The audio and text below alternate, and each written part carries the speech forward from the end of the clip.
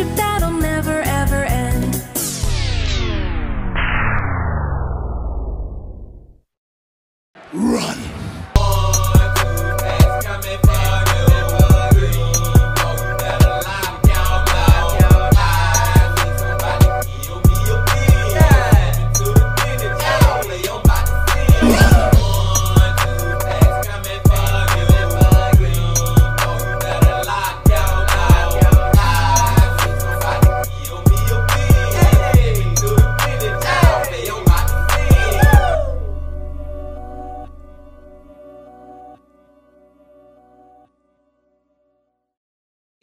It's a beautiful day in the neighborhood. Reaction Beanie Yo 513.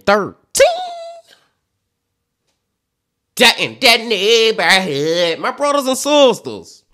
Another hump day, another time to go back to this man right here. And that man is Mike from that chapter. That chapter Wednesdays, y'all. Hope y'all doing excelente out there today. And I'm glad that you came on back to the channel once again to fuck with the bean. And the title of the video is Mom and Son Vanish After Discovering Husband's Secret Life. Darkest Disappearances 5.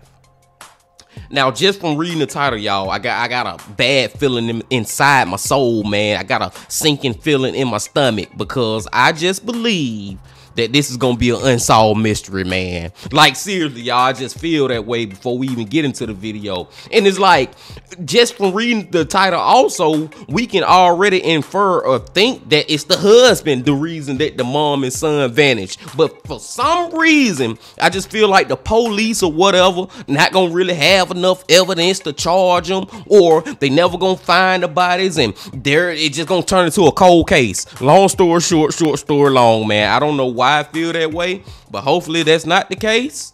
But we're about to see. But before we see my brothers and sisters, y'all know what y'all got to do. Get whatever you may need. Get what you need, please. Another mic from that chapter. Wednesday. Y'all got what y'all need. Y'all ready to go. Then let's and go. In May 2017, a mother and her 15 year old son vanished in Alabama. It was very strange. They were never out of contact for long. A missing persons report was filed two months after they were last seen. However, it was then a friend of the missing mother came forward, and she had an interesting story to tell. The story being, right before the mom disappeared, she had sent some emails after she found out her husband had a disturbing secret life. Hey you and hmm. welcome, my name is Mike, and in this old video we are once again looking at some more creepy ass disappearances. Some of these are, you know, I'm they gotta be unsolved murders. We know, but we don't know. Others, just plain baffling. Let's give it a go. Let's give it a go. And get whatever you may need. Friendship, friendship, and what I And Mike summed up what I was trying to say, long story, short story, long too, when he was like, we know who did it, but we don't know because the police ain't gonna freaking charge the people and then they just gonna turn it into a cold case. And now we got a murderer that then got off scot free. Long story short, short story long. Let's give it a go.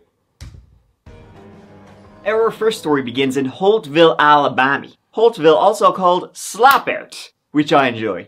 It's an itty bitty little place in central Alabama. Blink and it's gone. In 2017, living there was 43 year old Susan Osborne, her 15 year old son Evan Chartrand, and Susan's husband, Jerry Osborne. Jerry, he wasn't uh, Evan's father, though he was Susan's husband numero tuo. Susan was originally from Michigan, from a loving family, and had been married to Eric Chartrand, ending up in Alabama when Eric had to move for work. They had been living there, you know, doing their thing, but unfortunately their thing became divorce. Susan was then alone with her son Evan, and things weren't exactly going great for our Susan. She ended up having another daughter with with a separate guy. She was broke. They were sleeping, you know, on couch to couch to couch. She ended up moving back to Michigan, and she eventually lost custody of her son Evan and of her daughter. Susan eventually, hmm. though she got back on her feet, she won back custody of Evan Chartrand. Evan, by all accounts, happy-go-lucky kid, and things seemed to be the up for Susan and Evan. And that's when she met Jerry Osborne. Jerry, military man. He was an Air Force veteran and had served around the world and was discharged due to a traumatic brain injury, if you can believe that, when he had encountered an IED in Iraq. So he received a medical discharge from the military and he got, um, well, PTSD as the little kind of cherry on top of that. So it seemed like the whole family were happy out, you know, doing good. Susan and Jerry married. Evan seemed to really like him. They were they were this happy little family.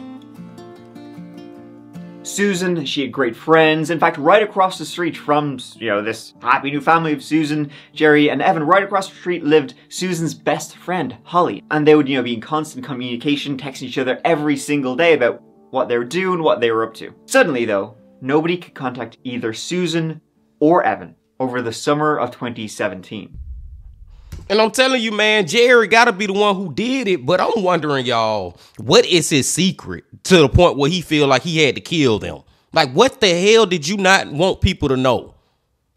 Herself and Evan were no shows at family events. Her friend Holly, who you know lived across the street, who was her best friend, she actually moved across country. She so she couldn't exactly go and check on her to see if everything was okay. They weren't actually reported missing though, if you can believe it, for almost two months. They last been heard oh. from a Memorial Day weekend 2017, May 29th. They were reported missing July 29th. So, like. How could that even happen? How could it go two months without these people being seen? I don't care if it's family members, friends, co-workers. He he was 15. He went to school. How the hell the school ain't asked what his boy at? You know what I'm saying? Two months before they was even reported missing. Man, y'all, this is gonna look like it's gonna be a cold case, y'all, because we they literally lost 60 days of freaking uh investigation from when they first went missing. I'm already getting disappointed. What had happened? When the police were finally called, you know, to do a checkup, to do a welfare check, they walked up to the house, and Jerry was there. Jerry was still in the house. He was there. They said, "How are you, Jerry?" And he was there. As I said, cleaning. Susan's car was there, and Jerry's story went, "Oh, yeah, oh, her, yeah." She left me. She left me on Memorial Day weekend. Left with some guy, Susan was cheating, apparently. She later then came back to the house, packed up all her shit. Susan, her son Evan, and this mysterious guy she was having an affair with, they left. Never seen them again. Jerry had surveillance to prove, you know, that they'd come and gone, that he could show you on camera. Oh, but, shit. You know what, now you mention it, it's been overwritten. Whoops. Neighbors would say they'd seen him burning stuff in the backyard also around Memorial Day weekend. Weird. Susan and Evan also had two dogs they had had for years, members of the family. Jerry's dad had dropped them off at an animal shelter in early June. The wow. police were a little bit suspect of this story, which he could not back up like one iota of this entire story. So they got a search warrant to search his house. Maybe they'll find something inside there, some clues as to what had actually gone on. They found that although the home was a fairly new, re- new build, Jerry had just recently like ripped up everything, new floors, repainted the walls, done everything in, it's like, this house is like brand new, what you doing? Except the kitchen and the bathroom, however, which when luminol was applied, you know, under a UV light, it lit up like crazy. There was blood everywhere, on the floor, on the walls, on the ceiling, but unfortunately when the police wanted to, you know, test it, it was too degraded to actually say whose blood that was. Cadaver dogs also led to a spot in the garden where the burned pit had been, and neighbors reported hearing gunshots on Memorial Day weekend. Mm. Other than that, though, nothing. It was like the mother and son vanished off the face of the earth. No activity on banks, social media, no nothing. Never to be heard from again.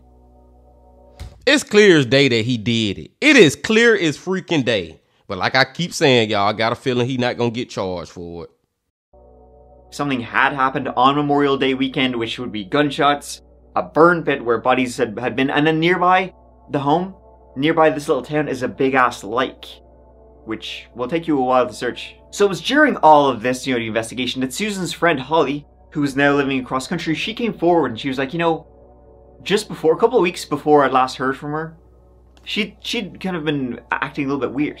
As I said, they were in constant communication. In fact, Holly was one of the first people to start worrying about Susan when you know, she was texting her, no answer, calling her, not getting anywhere. She even wrote letters that were just sent mailed straight back to her. Just a few weeks before Susan and Evan vanished, Susan sent an email to Holly. It was titled, Don't Mention This in Text. Well, color me intrigued. See, Susan was saying Jerry wasn't exactly the nice guy he seemed like on the surface. He was extremely possessive and controlling. He wouldn't let her see her family. He made her quit her job. He checked her texts, he checked her phone, so email was the only way that Susan and Holly could communicate without Jerry knowing. Susan had come to believe that her husband Jerry was secretly a gay escort. What? Her suspicions began when he was always at work, working late, didn't answer his phone, and was out of town for days on end. She thought maybe he was having an affair, but not exactly this kind of affair. She then found some emails between himself and the lads over on boyscourt.com. And well, she found this ad with his real phone number on it. And he had those tattoos.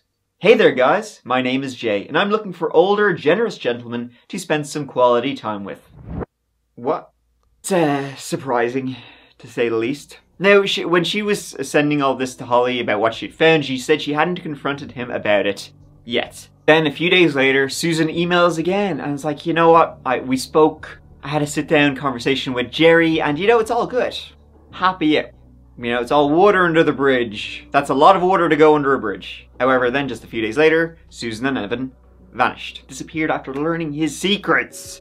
Quite a twist, but ultimately extremely tragic as to date they remain missing.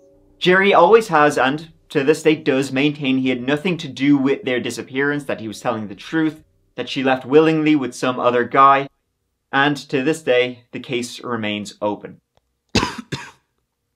it was New Year's Day. What the fuck? Is that it? Or we got some more, man? Mike, please. I mean, but damn, man, that is kind of it. Because he said to this day, the case remains open. I told y'all, man. I already knew it, man. I just, I had that freaking feeling in my soul, my brothers and sisters.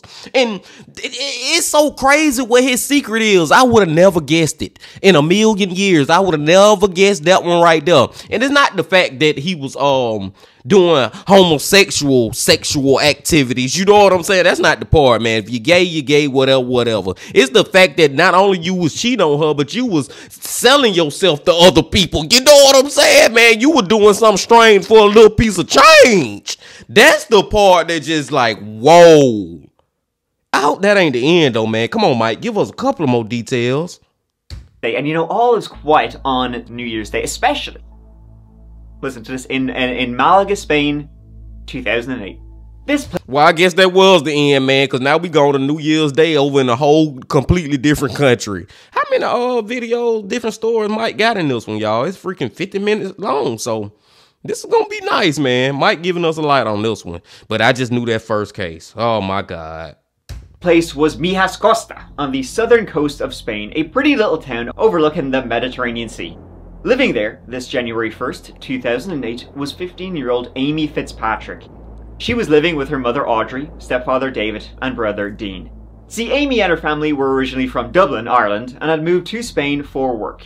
Stepdad, he sold real estate there, so the family upped sticks, and here they were. Now, young 15 year old Amy, she did not like living in Spain. She wanted to go home back to Dublin. Was not a fan. She was depressed there. She didn't really have many friends. She just didn't like it.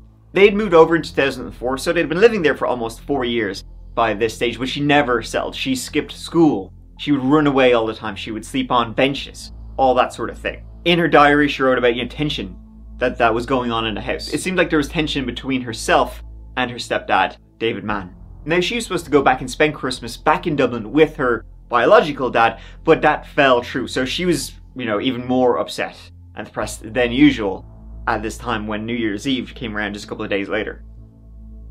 So Amy ended up spending New Year's Day with her best friend Ashley. They were babysitting for the day in Ashley's home. It was shortly after 10 pm that night. Amy was, was due to head back to her own house. It was only like a 10 minute walk from Ashley's to Amy's, you know, along this little dirt, dirt road. But on that lonely dirt road, Amy vanished. Now, initially the Fitzpatrick family didn't report Amy missing for a day because, as I said, you know, it wasn't uncommon for her to like sleep rough, spend time with friends, or just out somewhere. They didn't even really know anything was off to begin with. But then, once the police were alerted, shit got real, real quick. Now, Audrey and mm. Dave were absolutely positive that Amy never came home that night. That, you know, she left Ashley's and then she disappeared. She never once came home and then left. You know what I mean? But Amy also didn't, you know, have a passport. She didn't have money. So her running away would seem very, very strange. The police search was slow to get started, but now there's intense activity as the Spanish authorities are out in force looking for her. Meanwhile, her family can only wait and hope. This is the path that Amy Fitzpatrick took that night, an unlit, lonely track surrounded by undergrowth. But search teams have found nothing here, no sign of the 15 year old. And if she has indeed vanished, it's without a trace. I just want to appeal to anyone who may be holding Amy against her will. Please, let my baby Bunton go.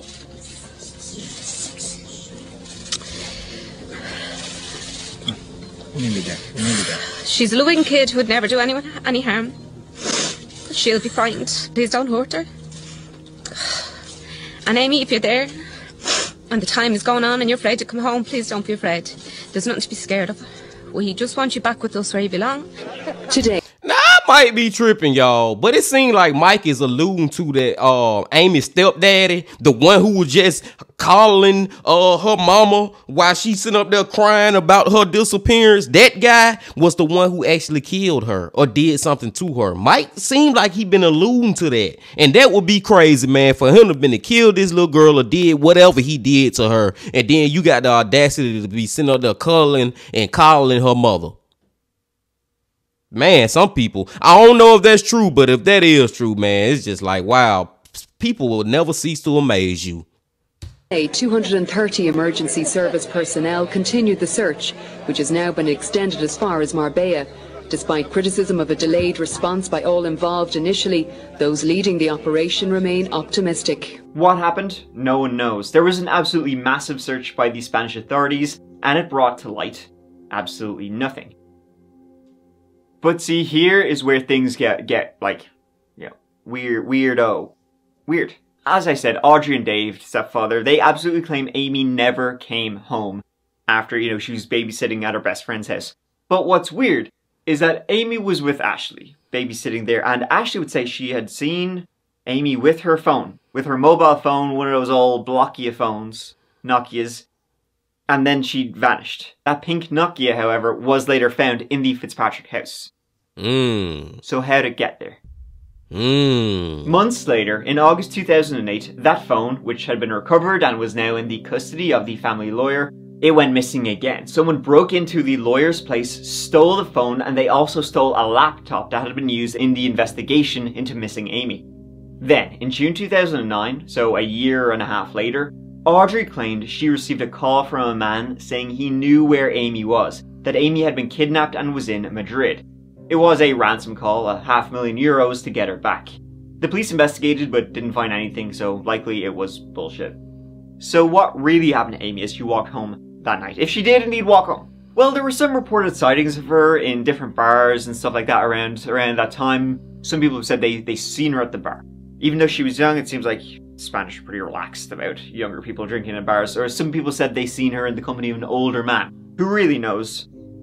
I don't know. Some claim she may have been abducted by a gangster. This part of Spain is frequented by a lot of Irish gang members, so maybe she was involved somehow with one of them. Maybe when she was sleeping rough, she met somebody, who knows.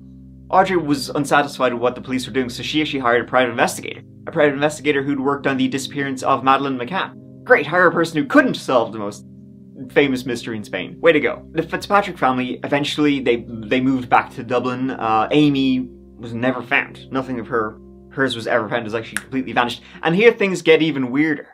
Dave, the stepfather, later killed Dean, Amy's brother. It was claimed there was some kind of argument and Dave just somehow ended up stabbing him to death in their home.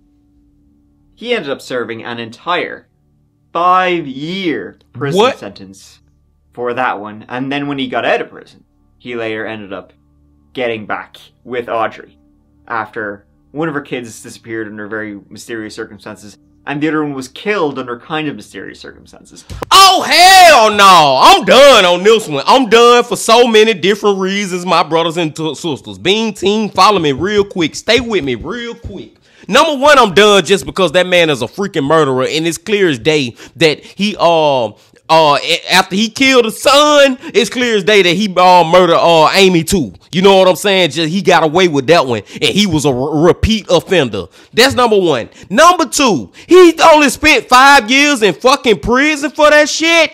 And let's put the cherry on top with number motherfucking three. Yes, hide your children now. The cuss words coming out. This is bullshit. The cherry on goddamn top is the fact he got back with the damn wife who is the mother of the people he killed.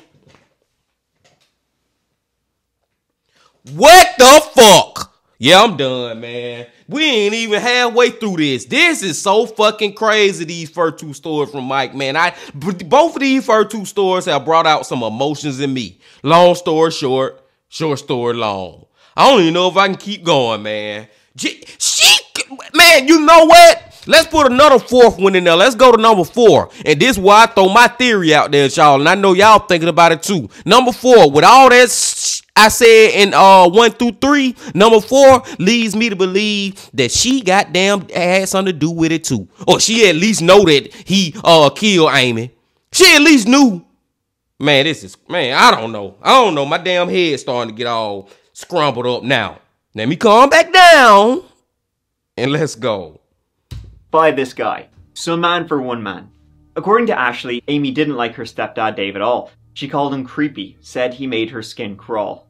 Who knows what really happened? It's, it's chilling that she could have just vanished on a walk home. If she did. Because maybe she made it home. This next story, and yes, I am recording this Man, Mike, he throwing these stories at us so quick. Like I need a second to think about what the freak we just heard. I'm loving this, Mike. Let's go. after my vacation, thanks for noticing, involves a creepy ass disappearance in the Sierra National Forest, and maybe, just maybe, a ghost.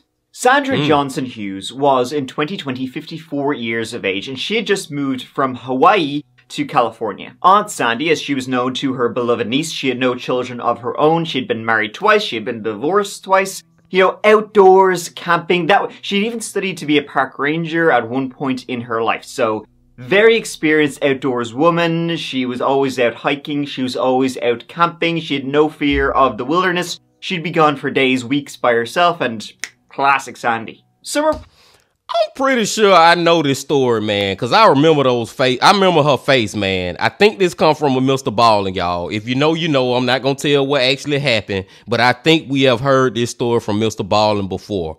But let's check it out from my uh, perspective.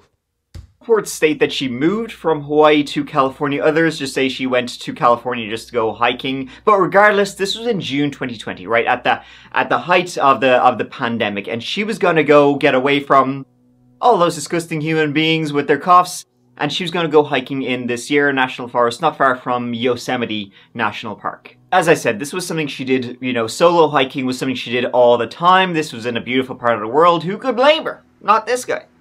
Hmm. It was in late June that Sandy traveled from Fresno and up and up she went into the wild, into the Sierra National Forest. This would have been her for sure. Plenty of campgrounds, lakes, beautiful vistas, the works.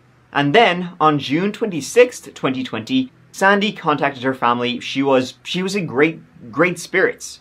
But of course, here comes the fall.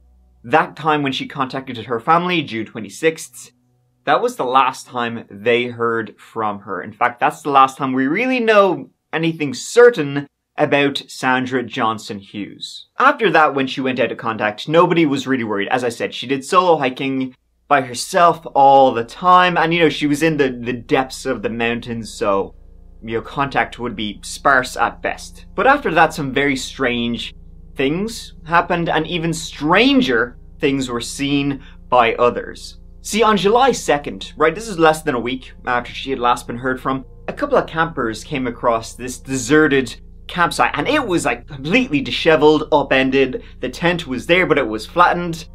Shit, basically just shite all over the ground in this campsite. It looked as if bags had been like upended, as if somebody had been looking for something, something like that, but there was nobody around. It looked like this had been deserted for a couple of days by July 2nd. So whose camp did these guys find, and where were the campers? These hikers they called the park rangers, as this looked very suspicious at the time. It didn't look like animal activity or anything. This looked like something had happened here. What that something was is a completely different question, but something not good. So these hikers, they called the park rangers who arrived, they had a goo around, and they found a wallet, a purse, and identification.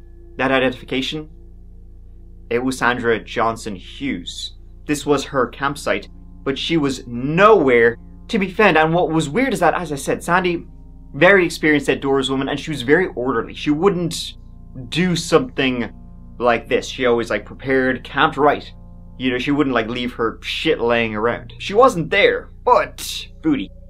That doesn't mean she wasn't seen. It was two days hmm. later, on July 4th, that she was seen near a place called Chiquito Pass. It's about 20 miles north from where her campsite had been.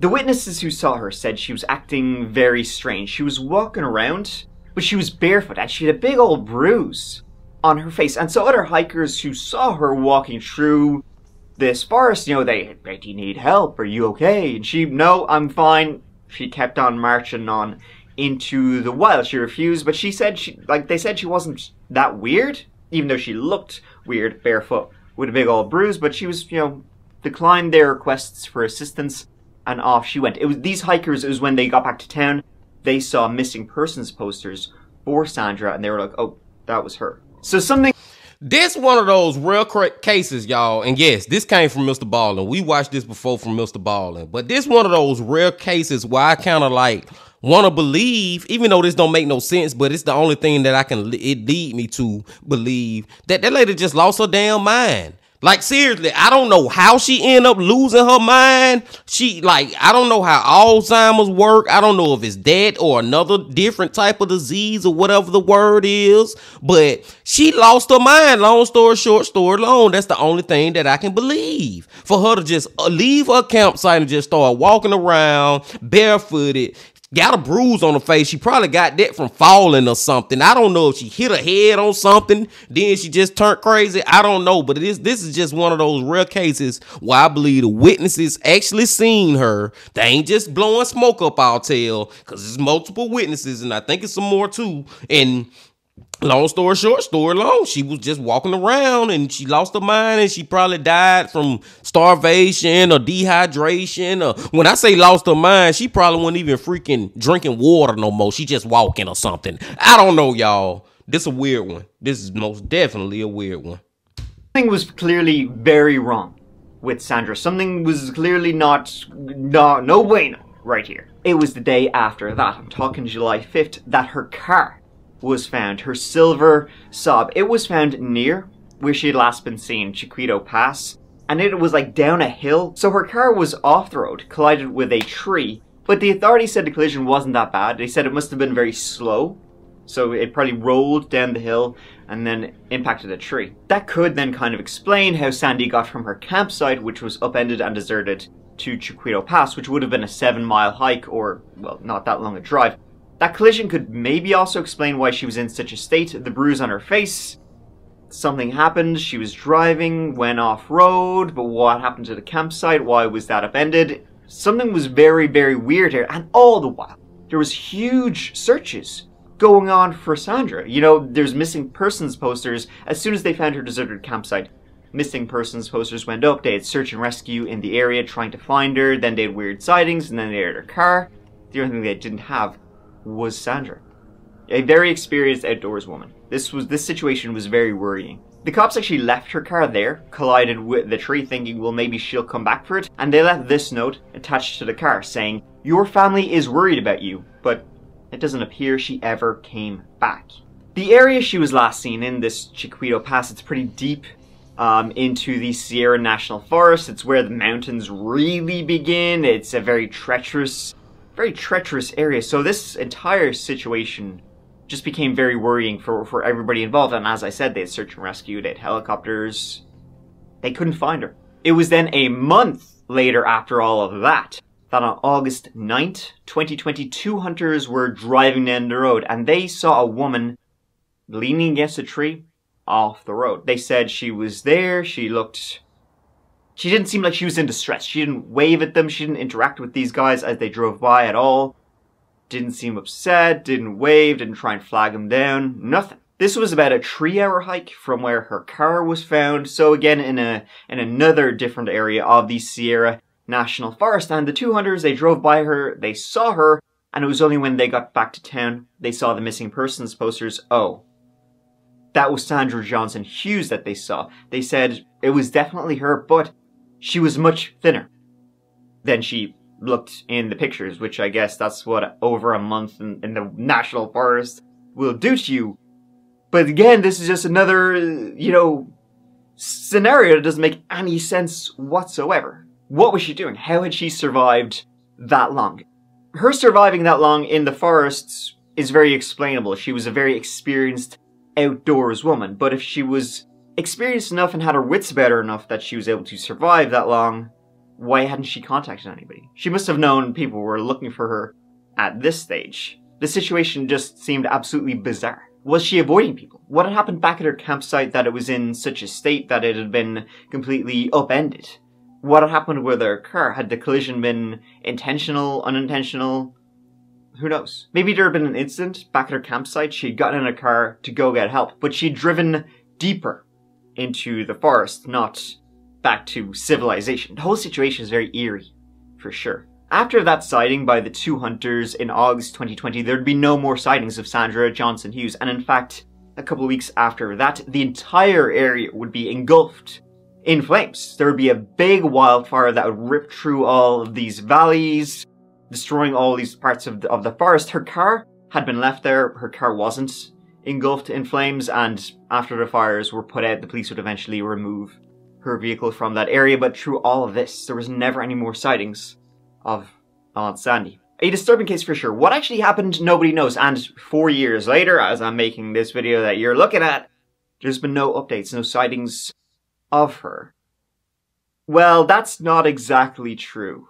Because mm-hmm. about a year after she was last seen in the summer of 2021, there was a sighting. Kind of. In July 2021, the Gorba family from California were going on a little vacation into the Sierra National Forest. It was parents Jake and Victoria Gorba and their three children. They were having a grand old time, you know, looking at the birds and the bees and the valleys and the trees and just enjoying the beauty of this part of the world. Only thing is, their oldest child, three-year-old Caden, he saw something just a little bit different. Something no one else saw. The family were in their car at Shuteye Peak, for reference, about an hour and 45 minutes by car from where Sandy's campsite had been. So the family were there, they'd pulled off to the side of the road, they were munching out on some lunch, and Caden is looking at the window of, of their vehicle. And in a nearby meadow, he sees something. He said, there's a woman standing there, and she's looking right at us. Parents were in the car also, they didn't see anybody. But Caden was clearly looking at something and something was looking right back at him. Caden said, there's a lady over there in the meadow. She has blue hair. She's wearing a black shirt. She needs our help, but she's dead. She's lying face down on the ground with her legs up in the air. She can't talk to me, but she's over there. We need to help her. Jake and Victoria, his parents, that went over they didn't see jack shit. Now, Caden was adamant. She was standing right there. She needed her help. Like, they went over there. Even, even after his parents went over there, they looked around. They couldn't see anybody. They couldn't see anybody in the ground or standing. He was still adamant. Trust me, trust me. She's right there. Yeah, uh, I'm sorry, kid. You're not getting in the car. Kids say some creepy ass shit and, uh, about you. You can stay here. So regardless, the family, they eventually I forgot all about that part of the story, y'all. Or the little boy seeing her, looking at him, but he was saying that she dead, and then the parents couldn't see him. I forgot all about that freaking part, man. This one of those ones that I think I was calling her this when we first watched this video, or uh, heard about this story from Mr. Ballen, or Mr. Ballen was saying that when she almost like a Bigfoot type of entity, entity or being or human. She the human Bigfoot, man, because uh, you, it's, it's sightings of her by certain people, but she very elusive. Then she out in the freaking wilderness, in the forest. You know what I'm saying, man? It's almost like she a freaking folk tale. But the thing about this is, I do believe those witnesses actually seen this woman. Like, you know, you got people who say they seen Bigfoot and ain't seen nothing but a goddamn gorilla. You know what I'm saying, man? But I think people really was seeing this woman in the, the freaking woods, man. And I, I, I just gotta believe that she just lost her mind. Some kind of way she lost her mind. And she went back home, and then his mom, Victoria, she posted this uh, on Facebook saying, Hey, you won't believe what the creepy shit kids say, am I right? It was then they learned of missing Sandy, who disappeared about five miles from here. A sheriff's corporal, he later stumbled across this post, and when, uh, you know, the authorities went over to speak to them, to speak to Caden, he described Sandra to a T, to the blue hair, to the black shirt she was last seen wearing by the witnesses in the park. Now, later on, the, the sheriff, uh, Jake, the dad, and Caden, the son, they went back to this area where he's already seen her, and the, the police, you know, the authorities, they had a look around this area. They found nothing there, but he was adamant he had seen her, and he could describe her. There's a lady over in the meadow in a black shirt, and um, she, oh, I got goosebumps. He says, She needs our help, but she's dead. Jake and Victoria checked out the meadow but saw nothing. He kept saying, Trust me, trust me, mom. And I was like, I trust you, bud. You know, I believe you 100%. Spooked, the couple decided to end the trip early and head home. And we put it on Facebook, seeing if anybody knew anything about the area, um, and come to find out that there was a lady missing. Caden and his dad returned with two sheriff's deputies the next day but found nothing. If she was possibly a ghost looking for some help, I hope that he could have at least helped and maybe helped the family find her because it's been a long time apparently since she's been gone. Whether that was just a figment of his imagination or uh, a real ghost, who knows? Maybe, you know, he's seen a missing persons poster when they were driving to this area and put two and two together. I don't know. I mean, he was only three years old, so it's very, very weird situation, but it's creepy as heck for sure. And to date, Sandra Johnson Hughes has never been found. All right, let's go to Busan, South Korea for for one of them bafflers, right? Busan, south uh, southeast coast of South Korea, very beautiful city. Really, really recommend it if you ever get a chance to go to Korea. But there, a very terrifying case of a couple, newlyweds, who just completely vanished in the most inexplicable ways. It happened back in 2016. They were Choi Sung-hee and her husband Kim Yoon-suk. Sung-hee, she was a well-known theater actress in Busan. She was in their production. She'd be walking down the street, she'd get a hell yeah Sung-hee. You know, everybody knew her. She was a very talented actress and well-known in, in the city. While her husband, Kim Yoon-suk, he ran a, a restaurant in the city. It was kind of like a family business and it seems like it was quite a, he ran quite a successful restaurant as well. So there were, you know, a couple who were doing relatively good. Um, they lived in an apartment in Busan. They'd gotten married in late 2015. So by May 2016, they were about six months married. And uh, Choi Sung-hee, she was in fact uh, pregnant, if you can believe that. So by all accounts, very happy come summer 2016. And summer 2016, May 2016, that's when what happened happened. On the night of May 27th, 2016, Choi Sung-hee was out and about, working, rehearsing, doing her thing, and she was seen arriving home to her apartment building in Busan at around 11.31 pm.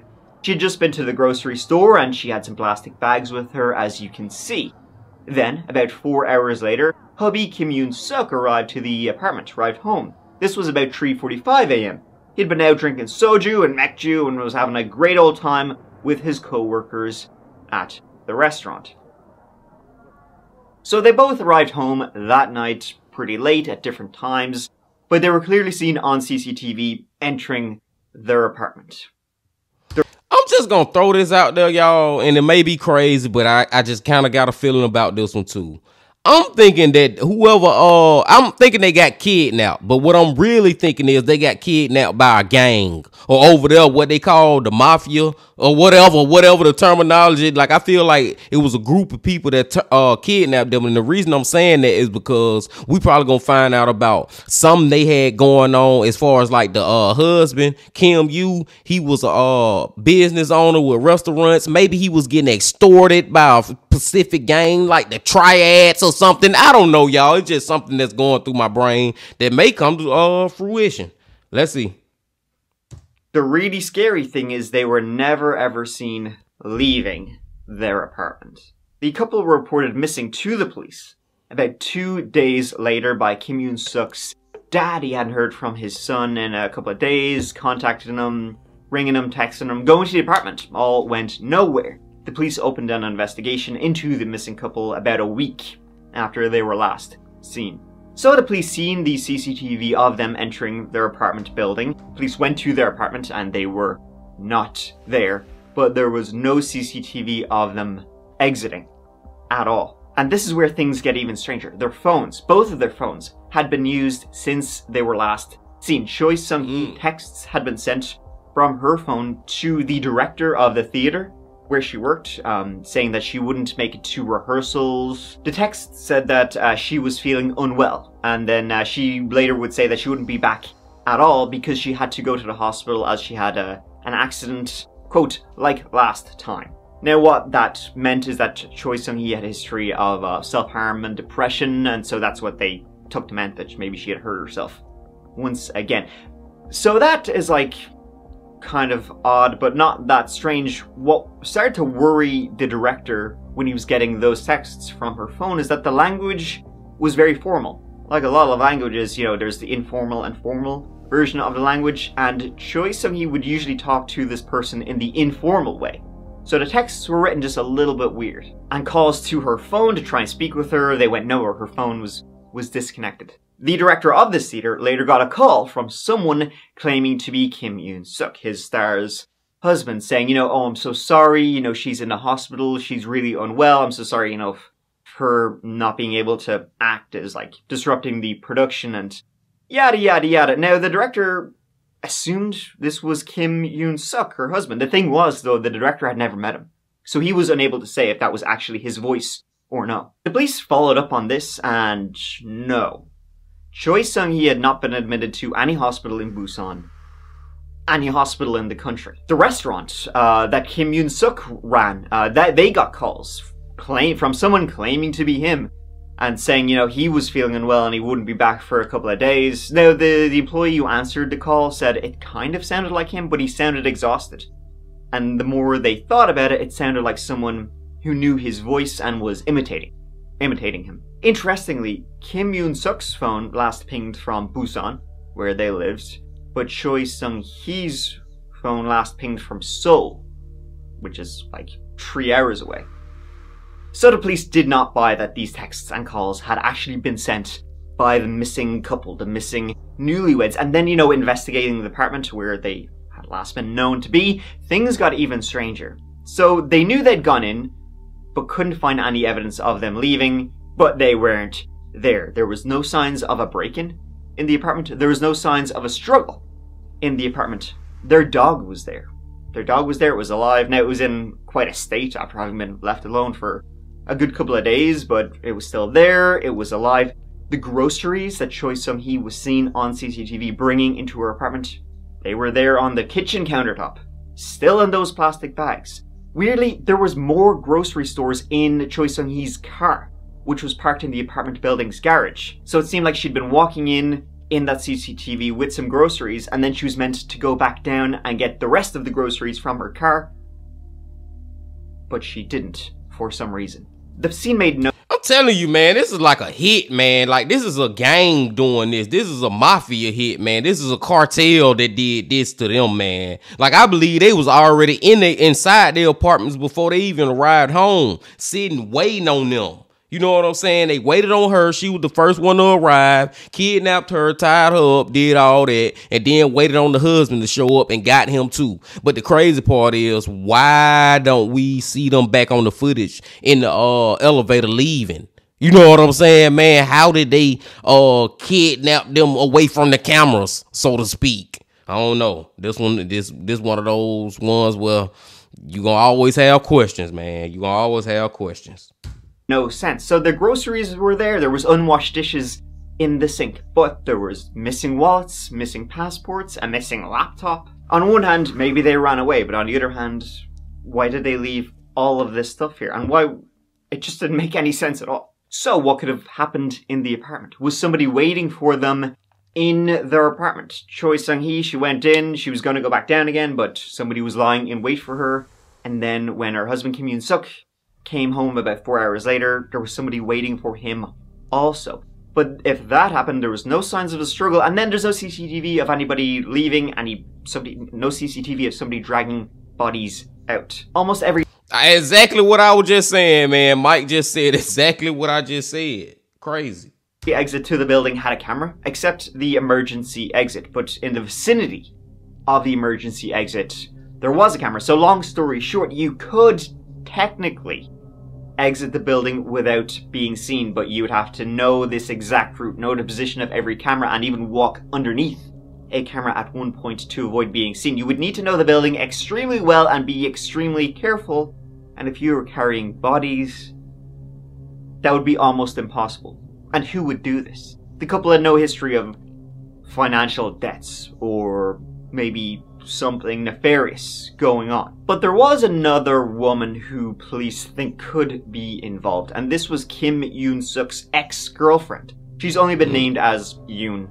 It's believed that Kim Yoon Suk had a secret second cell phone that he used to communicate with his ex-girlfriend. They had been dating uh, a couple of years prior. They had actually been almost engaged at one point, but allegedly their families didn't get on very well, so that led to them breaking up.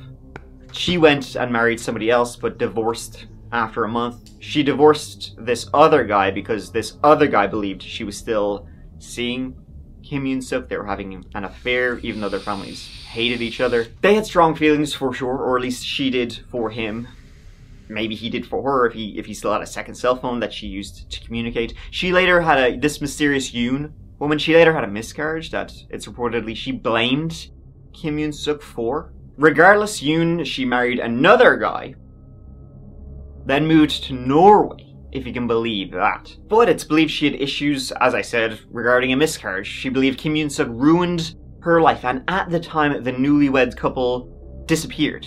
She was in South Korea. She was mysteriously in South Korea. She didn't tell her family she was back in her home country. She was staying in motels and paying for everything in cash. And she was due to head back to Norway in June. But as soon as the investigation into the missing newlyweds began, she suddenly decided to get an extra flight to go back to Norway even earlier. So the police believe she has she maybe she has information. They just want to speak to her. They want to ask her a few questions about her missing ex-boyfriend and his his wife. But when they asked, you know, Norway to extradite her to send her back to South Korea, Nor- Norway refused. They said there was no evidence tying her to this mysterious disappearance, so they refused to send her back. She has never returned to Seoul, whether she even has anything to do with what we don't even know happened. Who knows? But who and what happened in that apartment in Busan to this day, eight years later, remains a complete mystery. That's one of those ones where you can't even begin to try to like even know where to start to figure out what happened to them.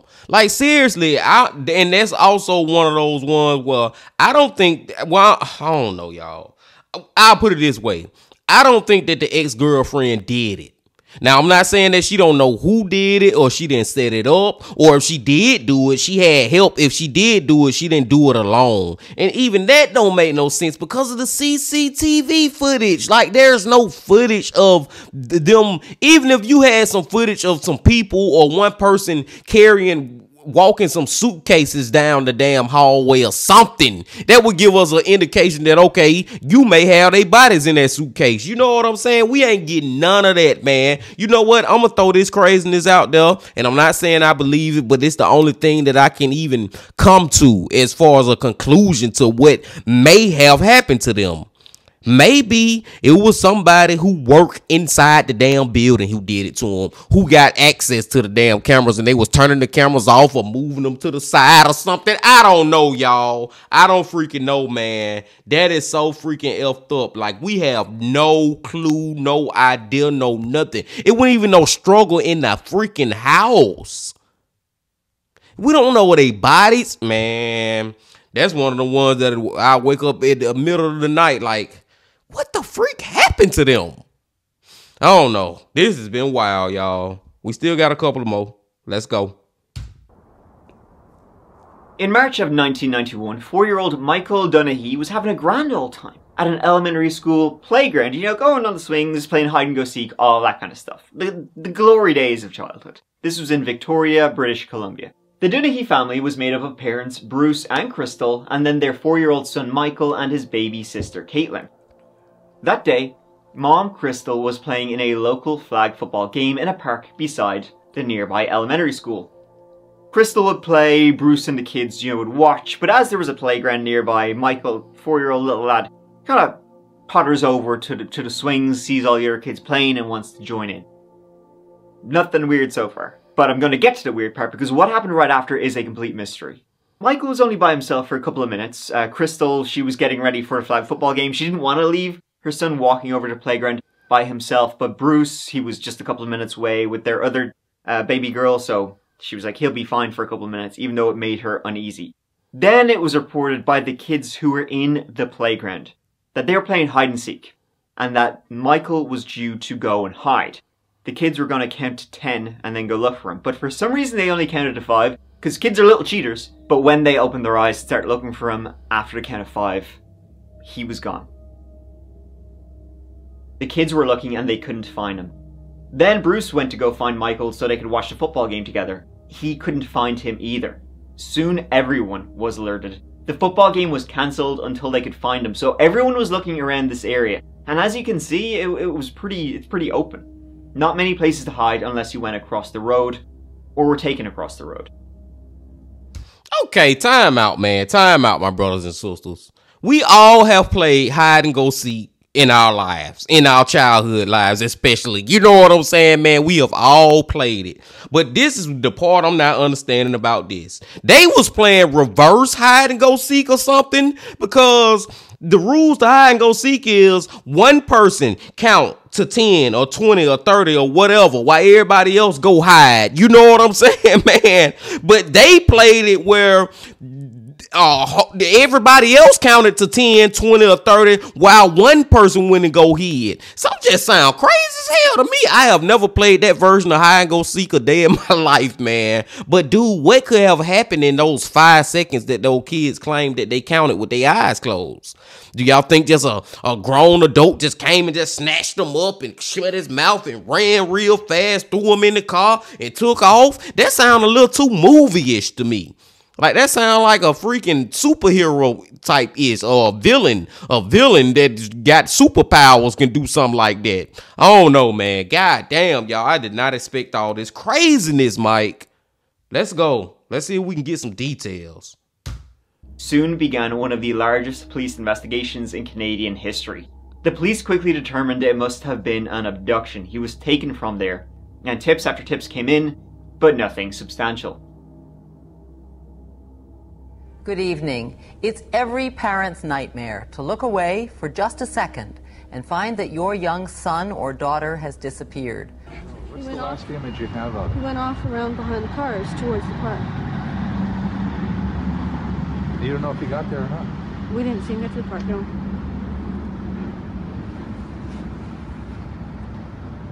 So that's the last memory you have. Yeah. Sit up here and looked over at the park. Didn't see him. I told Crystal I can't see Michael, so I went, I'll go look for him. He'd asked to go to a nearby playground while his mother played touch football. The playground was within sight of the field, within sight of his father and dozens of other adults. But Michael Dunahee simply disappeared. The abduction of Michael Dunahee is a new kind of crime here, and it calls for new methods. Were you parked here? Yeah. For example, reconvening everyone who had a car in the school parking lot that Sunday So that was at 12:15. and running through it all again. Who was where? Was there a vehicle here then you don't see here now? I don't remember exactly what it was. I know my view was blocked, so it would have been by something like a van or a truck with a canopy. Over there, where the cop car is. Right where the police car is? Yeah, I think so. From what I remember. Okay, and uh, it's a brown van?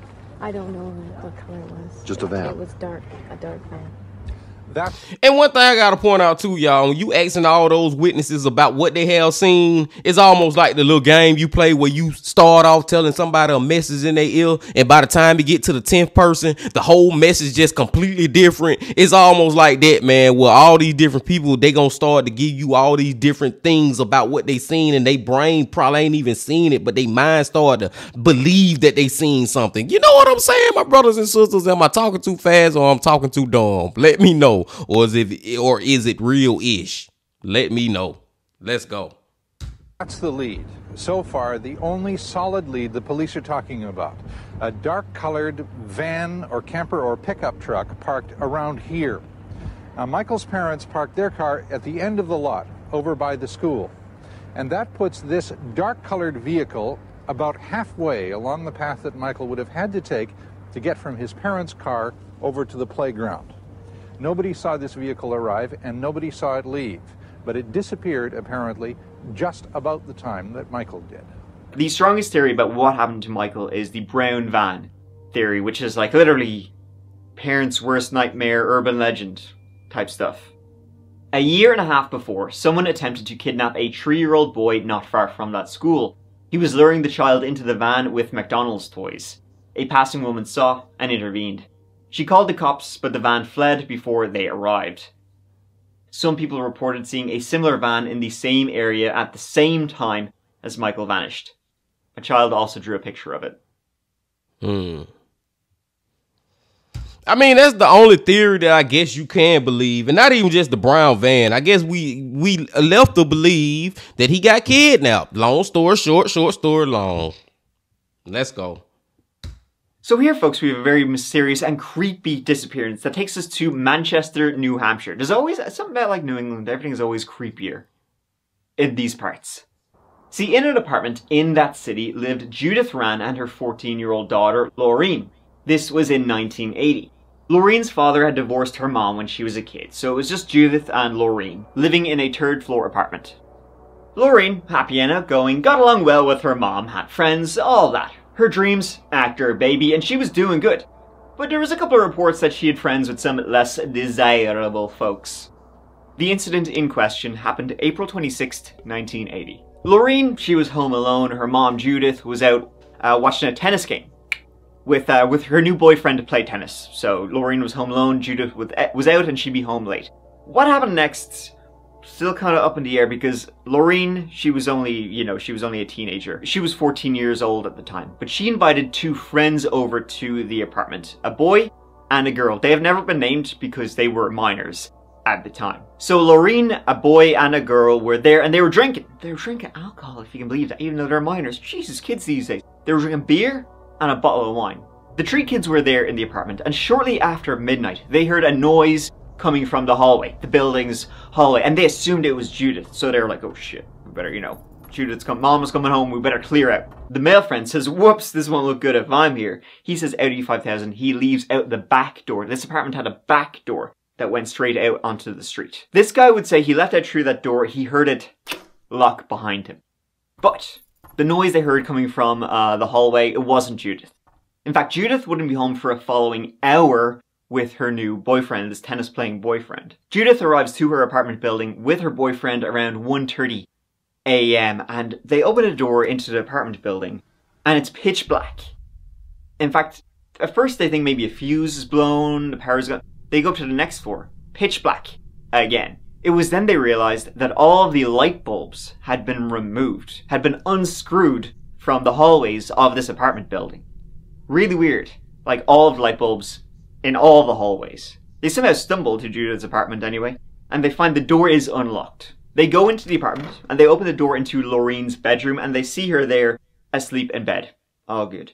It was then that they noticed that the back door of the apartment, the door was open. Not just like unlocked, like wide open. Pissed off about this, as you can imagine, you're leaving the door wide open in the middle of the night. Judith goes back to Laureen's bedroom to wake her up and be like, what the hell are you doing?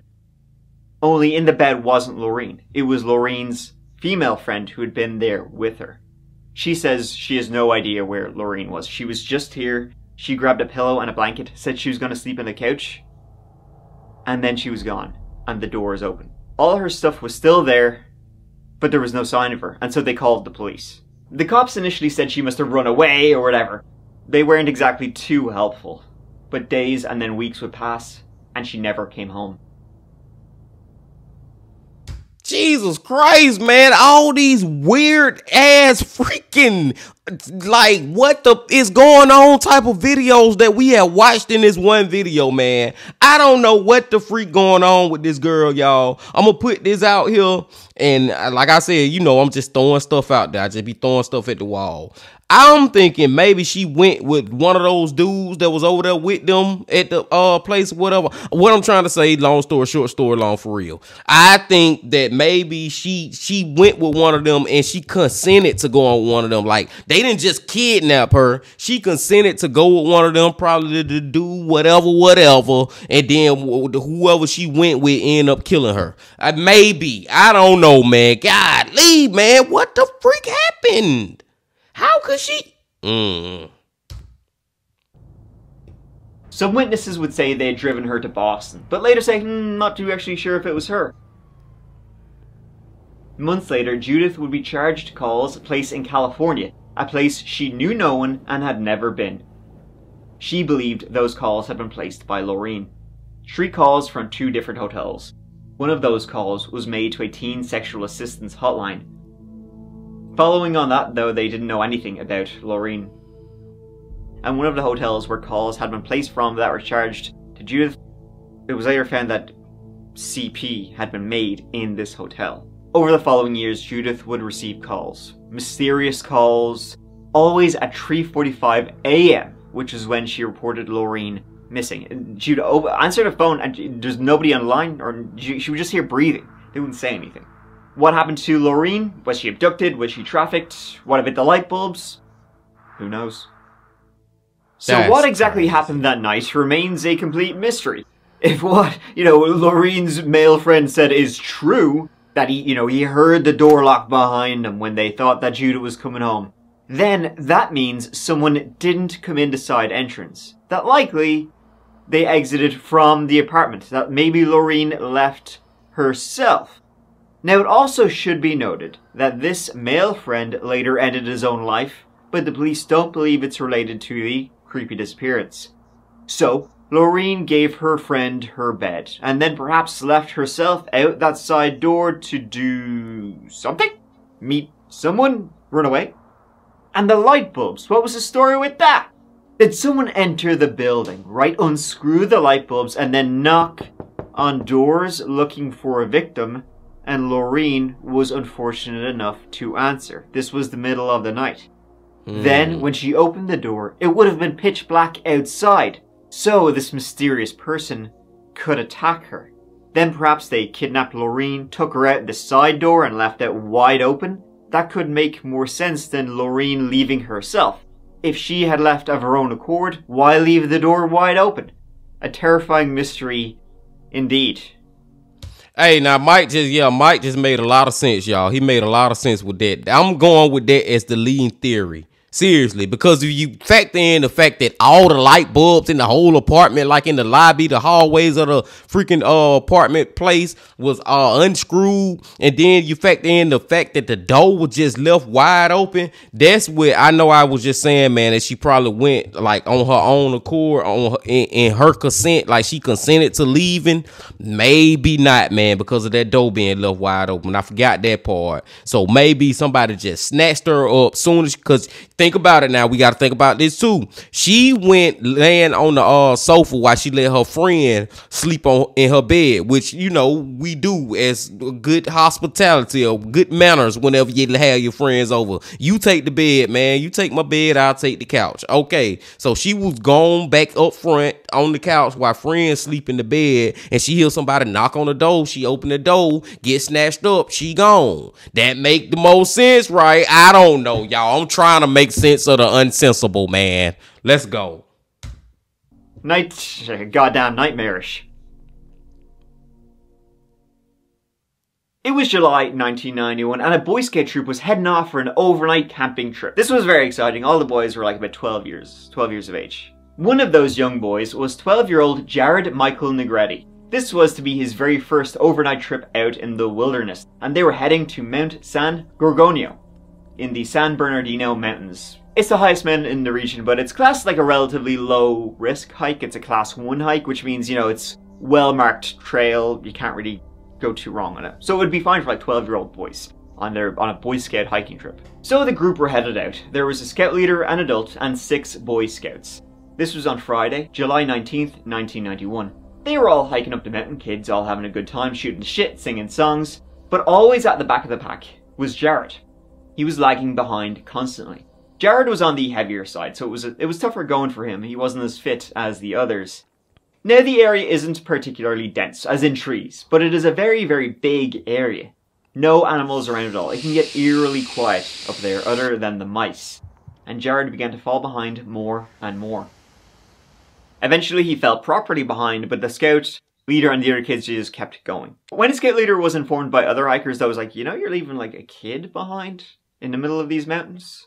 The scout leader was like, ah, oh, you know, it's fine. We're, we're gonna, we're almost top of the mountain. We'll get him on the way back. Catch him on the flip side. Other hikers who saw Jared going down, because he obviously just gave up, they saw him uh, zigzagging down the mountain. He was what's called shortcutting switchbacks, which is, you know, if you're going up a mountain, you go zigzag. If you just kind of go straight through them, it's kind of like a no-no to do when you're hiking up the mountains because you can damage vegetation, you can damage the trails, all that sort of stuff. So then, as the scout leader is making their way back down the mountain as it's getting dark, there was no sign of Jared. No sign of Jared at all. Eventually, damn scout leader, man, what the fuck? See, that's what that's this story right here. One of the ones where uh, make parents not want to leave their children in the care of other uh, adults because they don't give a damn about your kids, man. You just gonna leave this little boy and say, "Oh, we'll get him back when we are uh, coming back down the mountain." Like you just know he gonna be right here, and y'all in the middle of damn nowhere climbing a fucking mountain in the wilderness with all these goddamn bears and mountain lions and all that other craziness out here. They make it down to base camp, and Jared was nowhere to be seen. They didn't see him, and he was not waiting for him. They called the emergency services. For two weeks, 3,000 people combed the San Bernardino National Forest and never found him. To this day, no one knows what happened, whether he tripped and fell, or another reason why you don't want to shortcut a switchback is you can easily, like, it's not a trail. You're going off trail then, you can fall off, fall off a cliff, something. Or was it animal attack? Was it human attack? no one knows. But what makes this case really frightening is that a footprint of his was found along with some wrappers of some candy and, and foods that they knew he had with him. So they found signs of where he had been. They also found a camera Jared had taken with him. Most of the pictures were, you know, what you would expect of the mountain, of the hike, all that kind of stuff. Except the final photo. Which was this one.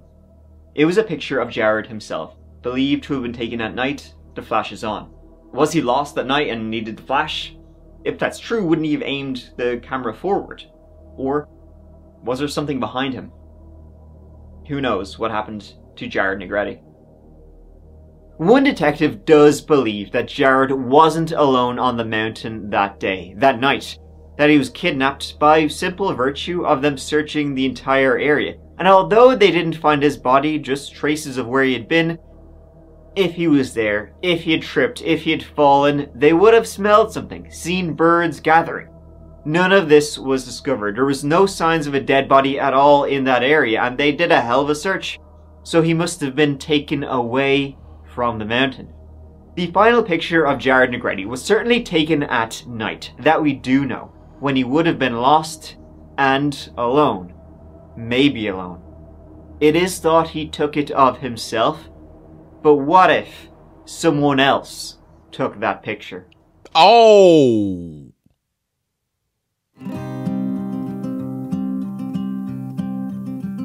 And there you have it. That is some of the creepiest and most disturbing disappearances I've come across. Thank you so much for watching. Uh, it means a lot to me. Hope you enjoyed this whole video. Next one will be up in a couple of days. Uh, but until then, as always, please take care of each other. Please take care of yourselves. Because I love you. Thank you.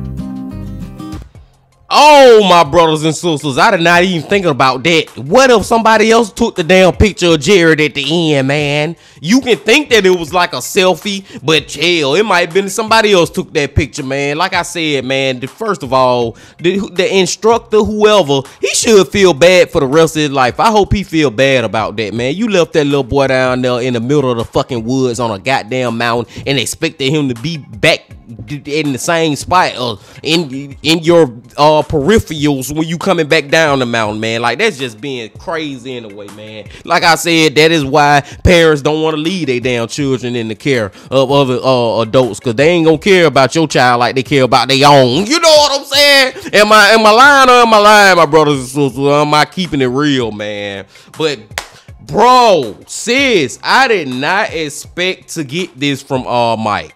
Seriously, I did not. I I thought from the title that we was gonna just have one freaking story. I thought we just gonna have one story, and it feel like we got about ten of them, and it's about ten of them that, and most of them for the most part, I'm gonna be thinking about for the next couple of days. Like, what the freak really happened in this story? What happened to this person, man?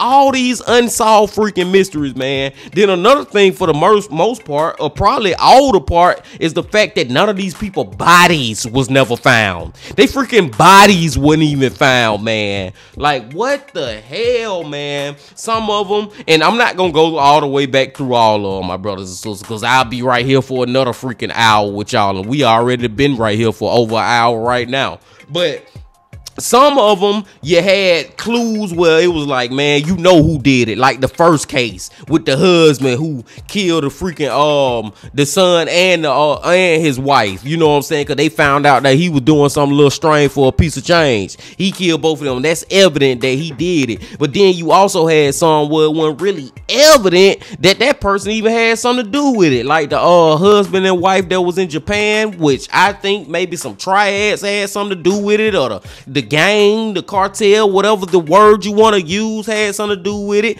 But um they was thinking that it may be the ex-wife I mean, not ex-wife. She they never got married, but they was thinking it was his ex-girlfriend before she get before he got married to his wife. You know what I'm saying? May have had something to do with it because she was staying in the same city around the time that it got it all happened. Then when it happened, she up and left and went back where she was and all that. But it's like, dude, for that one is number one thing is there's no evidence on the camera, but there's evidence literally of these people in the elevator going up to their freaking room. You know what I'm saying, man? Going to the apartment, man, and then that's it. We just don't know what happened. They just poof back vanished. I don't know, my brothers and sisters, man. This one right here, man.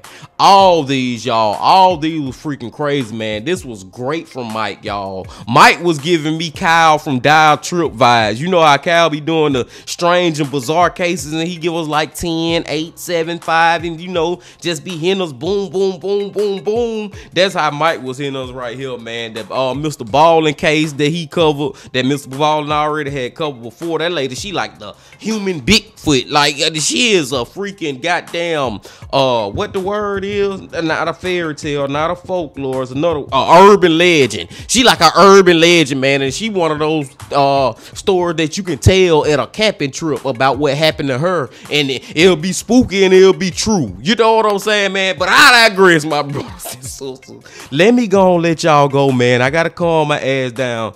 This was such a great video from Mike, y'all, man. It's like these guys just continue to get better and better, and I just enjoy coming back and watching him. If y'all done made it this far, then I know y'all enjoy the truth too, and I appreciate y'all coming on back to the channel. Like I said, man, y'all make sure y'all come on back tomorrow. But before y'all leave, please, please, please, please, please hit that like button, comment, subscribe, and do all that if you ain't did that yet.